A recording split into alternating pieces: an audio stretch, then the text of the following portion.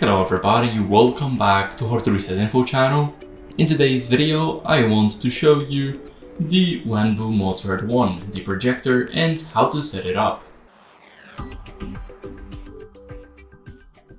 So first, what you guys need to do is get the remote control, as you guys can see. Now we need to click the big button in the middle to continue.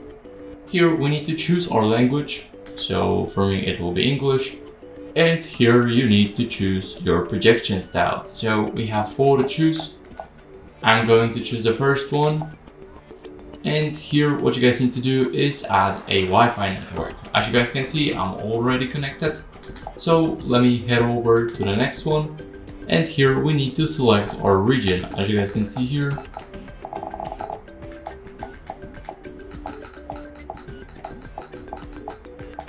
we can choose between everything now, as you guys can see, the setup now is completed. So now we are in the main menu. Here we need to agree to the terms of use of the projector. And here you can actually enable the statistics to help them improve their project. Now here you can agree to the advertising choose.